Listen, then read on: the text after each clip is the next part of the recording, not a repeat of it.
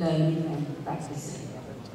And during this time period, we know that uh, adolescent definitely experiences several challenges.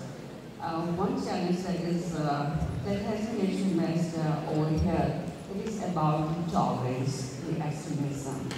So, in my opinion, that what we can do for the youth to overcome these challenges, I would say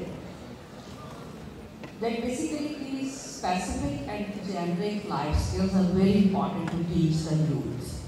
These life skills can be of um, skill of problem solving, skill of um, creative thinking, skill of critical thinking, skill of communication, skill of self-awareness, and uh, skill of coping stress, skill of coping with uh, emotions. So these are the basic life skills that are really very much important for the youth and we all should actually work on that.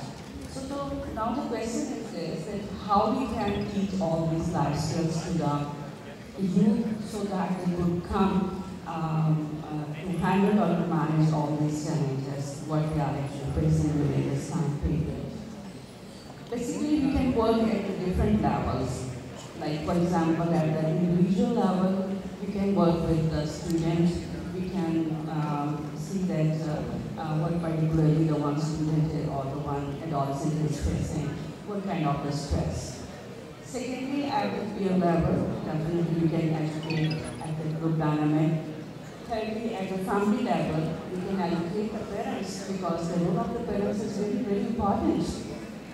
The different parenting styles are creating the different adolescents and definitely when the different personalities are there uh, in form of the youth, so there are different individual differences. And the one that is coming from the province level, it is about the, um, the students that they are not exactly the individual differences. Like the last night, we have the cultural show and we have seen that how many different cultures in Pakistan.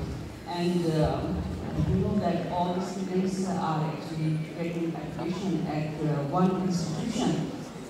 The need is, um, and Dr. Salvage, is to know that our students actually learn these individual differences. And this is the um, time of, uh, this is the platform that we can educate our students at uh, institutional level.